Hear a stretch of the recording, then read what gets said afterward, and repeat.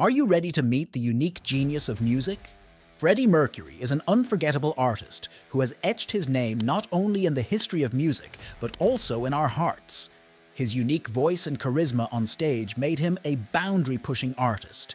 Are you ready for this unique musical journey? Get ready to discover the life of Freddie Mercury and enter the fascinating world of Queen's legendary music. If you are ready with your coffee and in front of your screens, here we go.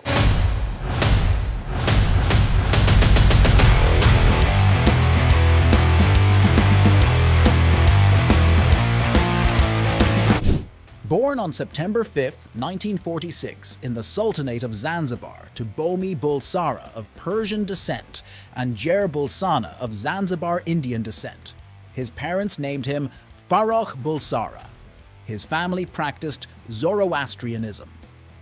Farokh spent most of his childhood in India with his grandmother and aunt, and in 1954 he began studying at St. Peter's boarding school. Farrokh became a table tennis champion in 1956 and won the Junior Ozan All-Rounder Award in cricket in 1958. At St. Peter's, an English school, Farrokh's teachers and classmates started calling him Freddie because of the difficulty in pronouncing his name. In addition to his athletic achievements, Farrokh learned to play the piano at St. Peter's. It was here that he joined the Hectics for his first band experience. After finishing his studies, he returned to his family in Zanzibar. In 1964, due to the revolution in Zanzibar, he moved to the UK with his family at a young age. After completing his education in India, Freddie moved to London in 1964 to study graphic design at Ealing Art College. During his studies, his interest in music grew. He sang in various groups. In 1969, his flatmate Tim Staffel had a band called Smile. When Tim left Smile to play in another band, Freddie convinced the other members of the band, Brian May and Roger Taylor, and they started playing music together. John Deacon later joined the band, and the band Smile was replaced by Queen. Freddie himself designed the logo for the newly formed band. First, let's talk about the intricately drawn figures, five of which stand out and reflect the band members' zodiac signs. The two lions represent John Deacon and Roger Taylor, the crab represents Brian May, and the two fairies represent Freddie Mercury, a Virgo. All the characters are arranged around the letter Q with a crown in the middle of the logo, as if they are holding it, hugging it, and watching it. Above them all, a phoenix rises from the flames and takes all the other figures under its wings, as if to protect them. Throughout the 1970s, Queen rose rapidly with their impressive vocal performances and experimental approach to music. Queen released their first album in 1973. Their first album was released under the name Queen.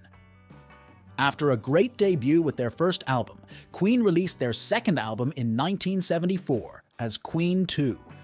The spectacular rise of Freddie and his friends had begun. They also released Sheer Heart Attack in the same year. In 1975, they released A Night at the Opera. In 1976, A Day at the Races. In 1977, News of the World. And in 1978, Jazz. If you're having trouble identifying the album names, here's how we can help. Bohemian Rhapsody, We Will Rock You, Love of My Life, You're My Best Friend, we're the champions. They managed to stay in our heads and turn the markets upside down. Don't forget to like the video and share it with your friends so we can reach more people, even if we don't turn the market upside down. In 1975, Kenny Everett, an important radio programmer of the time, invited Freddie Mercury to his program Capital London Breakfast Show. Freddie brought along the song Bohemian Rhapsody, which he had written himself but which had not yet been released. Kenny Everett was very impressed when he heard the song on the turntable, but he couldn't release it because Capital Radio hadn't officially accepted the song. Kenny just had to enjoy being one of the first to hear it. On the air, he told his listeners that it was a song he admired but couldn't share, and got them excited.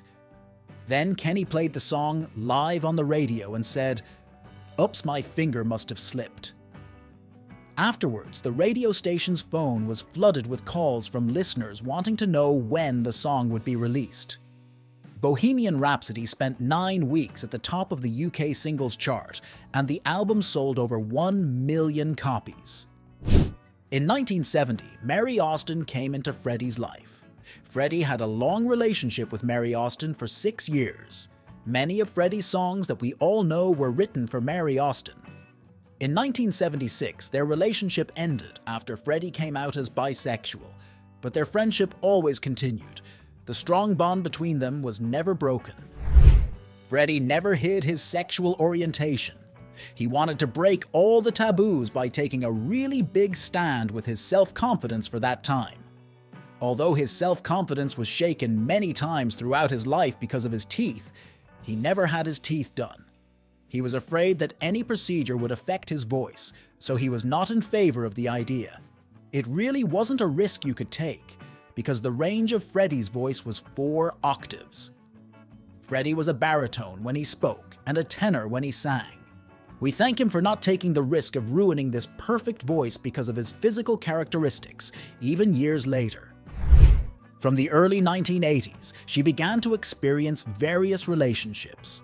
He had many male partners during this time. Freddie found a good balance between his career and his personal life. In 1985, he met Jim Hutton from Ireland. Jim had a lasting influence on Freddie's life. In 1980, he released the album The Game. The album Flash Gordon was also released in the same year. The rapid rise of Queen continued. After a two-year break, the album Hot Space was released. In 1983, Queen recorded three tracks in Michael Jackson's studio, in addition to the albums he was releasing with his band. But these tracks were not released at that time. In 1985, he released his first solo album, Mr. Bad Guy. In 1986, the album A Kind of Magic was released. In 1988, his second solo album, Barcelona, was released. This album was quite different from the albums they released both solo and with Queen. This album, which she released with opera singer Montserrat Caballé, combining popular music and opera, is very special after the solo album, they managed to make an impact all over the world with their album The Miracle in 1989. Queen's concerts were as successful as their albums. Queen met their audience in about 700 concerts. Held in huge stadiums, Freddie was able to attract attention with his stage performances and the way he interacted with his fans.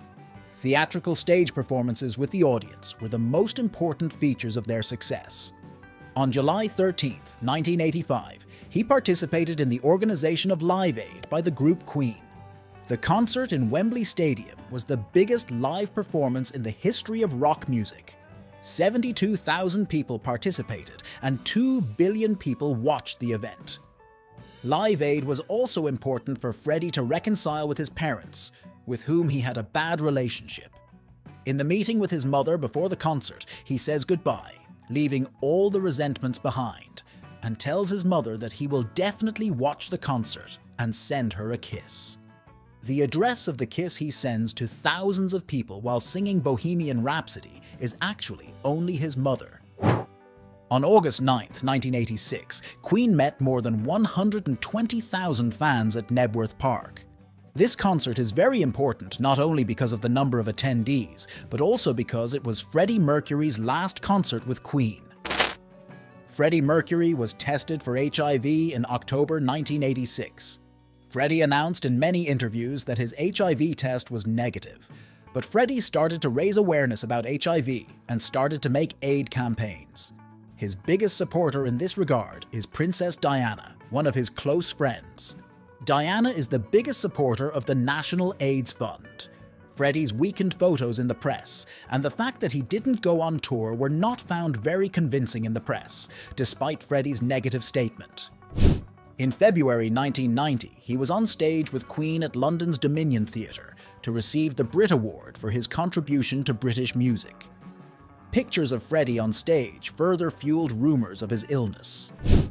In 1991, he appeared in front of the cameras for the last time for the song These Are the Days of Our Lives from the album Innuendo. The images in the clip foreshadowed the progression of his health problems. In June 1991, Freddie Mercury announced that he was ending his work with Queen. He moved to his home in West London, where he lived in seclusion and retired. On November 22, 1991, he called Queen's manager Jim Beach to his home and gave a press statement. In the press release, he finally put an end to the AIDS debates that had been going on for years. Freddie admitted that he had AIDS. He died at home about 24 hours after the press release. Freddie was 45 years old when he closed his eyes for the last time. The cause of death was pneumonia due to AIDS. With him when he died were Jim Hutton and Mary Austin, who he never gave up on. These two friends had never left Freddie alone in his life and were with him on this sad day. We have already mentioned that Freddie Mercury's real name was Farrokh Bulsara. His father was Persian and his family was Zoroastrian. Freddie's funeral was also conducted by a Zoroastrian cleric. As Freddie's coffin was carried into the hall, Aretha Franklin's Precious Lord, Take My Hand was played. After a one-minute intermission, Carole King's You've Got a Friend was played. Finally, his favourite aria D'amor sull'ali rosee was played, composed by Giuseppe Verdi and sung by Montserrat Caballé, who performed with Mercury on his 1980 solo album. After the service, Freddie Mercury's body was cremated according to his will, and his ashes were given to Mary Austin. Only Mary Austin knows where the ashes are buried, and she does not share this information with anyone. Freddie's symbolic tombstone is inscribed with his real name, Farrokh Bulsara. Under the dates of his birth and death, it reads, I will always be close to you with my love, M. It is said that the letter M is Mary Austin, whom he never gave up. Freddie Mercury left part of his fortune and his house to Mary. Mary Austin continues to live in the house with Freddie's belongings and memories. Freddie Mercury remains in the hearts of his fans even after his death. In 2005, readers of Blender magazine voted Freddie the best male artist of all time. Rolling Stone magazine ranked him number 18 on the 100 greatest singers of all time list. In 2009, he was voted the best rock artist of all time in a poll conducted by Classic Rock magazine. In the same year, Freddie Mercury was named the God of Rock in a very large poll conducted by OnePoll. Thanks for watching the video. Don't forget to like and subscribe if you enjoyed the video. Share your thoughts and ideas about the video in the comments section. Let us know who you would like to hear from in the coming weeks. You can also turn on notifications to be notified of more content and be a part of our community. See you in the next video.